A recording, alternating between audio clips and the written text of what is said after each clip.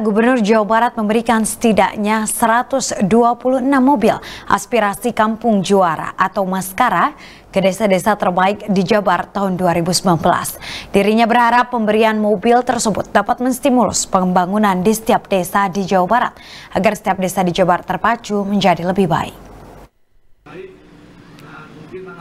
126 unit mobil aspirasi kampung juara telah diberikan Gubernur Jawa Barat Ridwan Kamil bagi 126 desa berprestasi di Jawa Barat.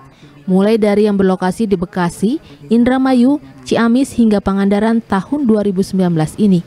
Maskara diberikan kepada desa-desa terbaik mulai dari desa mandiri, desa inovatif, desa wisata hingga pemenang lomba desa.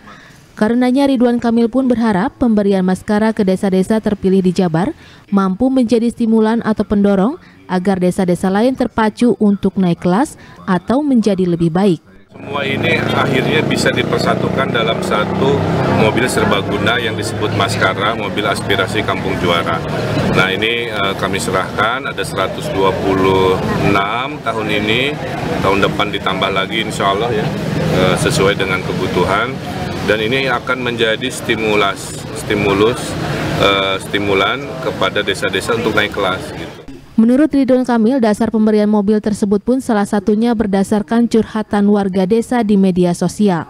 Karena kesulitan mengangkut orang sakit, mengangkut barang hingga untuk sarana hiburan masyarakat seperti nonton film bareng hingga dangdutan.